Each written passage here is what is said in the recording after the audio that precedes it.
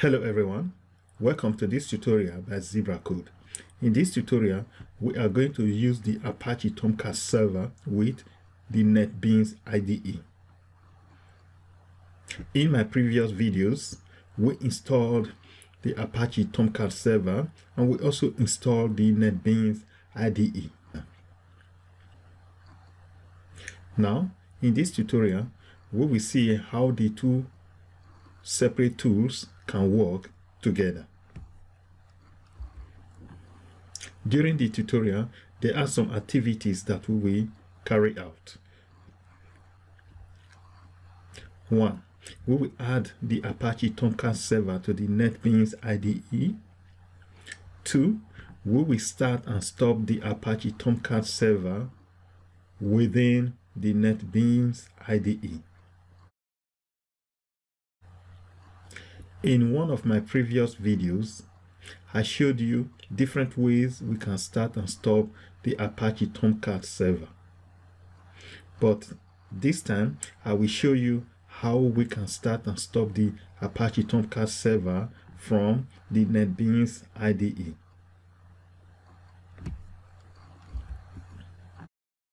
There are three main technologies that we are going to work with in this tutorial.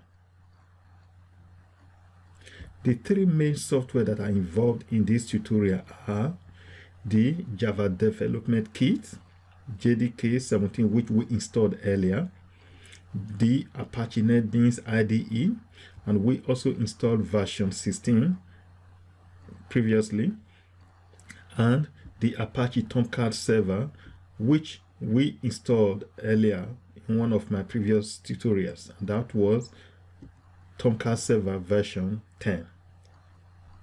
Now, we will be working with these three technologies as we learn how to integrate the Apache Tomcat server in the NetBeans IDE.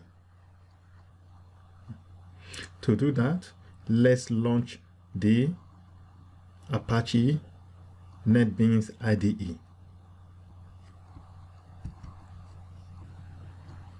Now I can launch NetBeans from here or from the Windows Starter menu. I already have NetBeans now running. This is my NetBeans IDE. You can create a new project or open an existing project to be able to perform this task.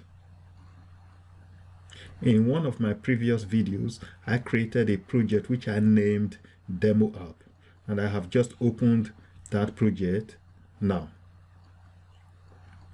To be able to integrate the Apache Tomcat server in the NetBeans IDE, we can follow some simple steps.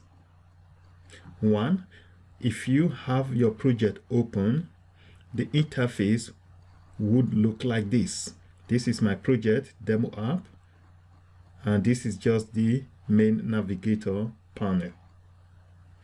Here it says project and here it says files and here it says services.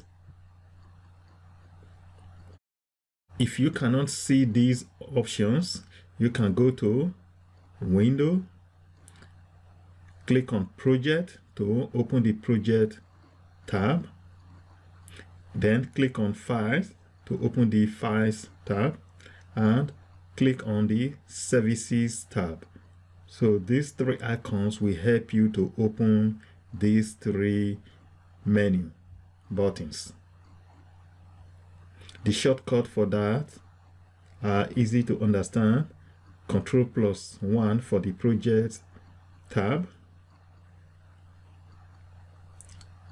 Control plus 2 for the Files tab, and Control plus 5 for the Services tab. So with these menu buttons active, we can add our Tomcat server to our IDE. You can follow this method or here you can also go to Tools and click on Servers. You can use these two options to add servers to your projects. Okay, I am going to use this option. Now, servers is highlighted. To add the Tomcat server to this NetBeans IDE, I will right click on it, right click on servers, and here it says add servers, click on add servers. Great. This window will open. It says here choose server. Here we have Apache Tomcat or TomEE. Here we have Glassfish server and some other options. But for this tutorial, we want to add the Apache Tomcat server. So click on Apache Tomcat or TomEE. Now click Next.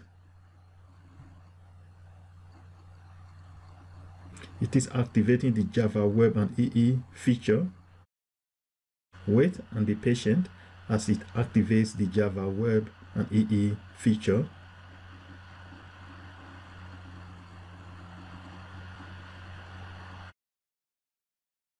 Great. Now this window will open. Here it says installation and login details. Specify the server location, Catalina home and login details. First, let's find the server location. Here, if you know the path, you can paste it here. If not, you can browse to find it. In our case, we will browse to find the location for our Apache Tomcat installation. Or click on browse. Great. On my computer, I installed the Apache Tomcat server on my C drive. And this is my Apache hyphen Tomcat hyphen 10 installation. Click open. Great. Now it has found it. Leave this one. Here it says enter the credentials of an existing user in the manager or manager script role. You can find out what your username and password is. My username is tomcat manager. Enter the password. Leave this checkbox ticked. It says create user if it does not exist. I will click finish. Great. Now here it says Apache Tomcat or TomEE and now it shows servers Apache Tomcat or TomEE has been added to my list of servers if I move my mouse over it, it shows the host and the port number. In my case, it's localhost colon 8081, which is the port number that I set it to. Now, to start and stop the Tomcat server from inside net beans IDE, right click on it. And here it says start and here it says start in debug mode, start in profile mode, restart, stop, refresh, rename, remove, edit server.xml. View server log, properties. In this case, we are going to start it. I will click on start. And it says here starting Tomcat.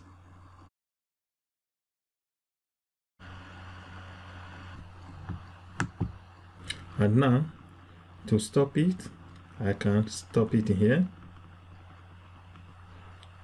to restart it I can right click on it and click restart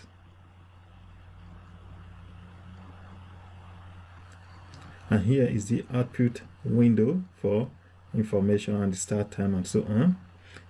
To view the server we can click here on servers or click on tools.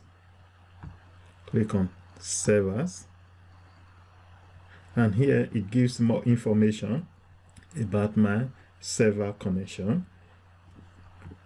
It shows here my username my password and my server port. By default the Apache Tomcat server runs on port 8080 but I changed my port number to 8081 and that is why it is showing here. Then shutdown port is 8005 if you want to add another server you can click on add server and it will bring up this page. I'm going to cancel it now and if you want to remove server you click on this one. I am not going to remove this server now so I will leave it as it is. The information we see here is about our connections. If you click on startup you will get more information here. If you click on platform and it shows here java platform we are using java jdk 17 by default.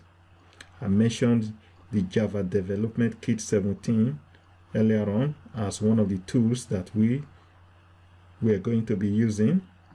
Uh, you will find that that the platform and deployment you get some information about deployment here. Enable jd bc driver deployment. I'm not going to go into that for now. Classes sources java doc. So you get a lot of information here depending on the icon or button that you clicked on. So i'll click back on connection and it gives information about our connection to the tomcat server. Now close it. So the purpose of this video was to show you how to integrate the tomcat server into the java netbeans IDE and how to start and stop the Tomcat server from within the Apache NetBeans IDE. I hope you learned something from this video. In my next video, I will show you more about Tomcat server and the Apache NetBeans IDE. Thank you for watching. See you in my next video. Bye for now.